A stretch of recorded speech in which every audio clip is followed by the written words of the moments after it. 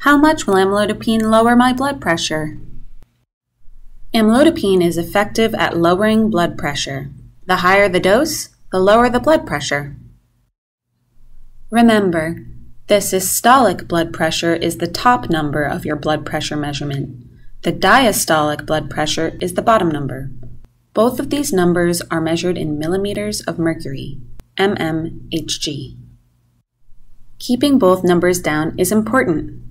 Many doctors recommend a blood pressure of 140 over 90 millimeters mercury or less, but for some people, an even lower goal may be better. In one study, the lowest dose of amlodipine, 2.5 milligrams, lowered systolic blood pressure by an average of 12 millimeters mercury. It lowered diastolic blood pressure by an average of 9 millimeters mercury. The highest dose of amlodipine, 10 milligrams, lowered systolic blood pressure by an average of 24 millimeters mercury. It lowered diastolic blood pressure by an average of 16 millimeters mercury. Remember that this is just an average. Your blood pressure may go down more or less than this.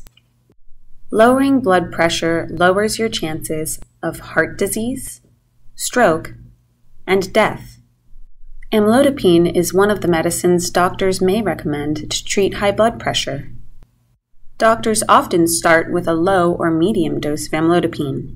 The dose may be increased if needed. It's important to check your blood pressure regularly to find the best dose for you. Less pressure, more health.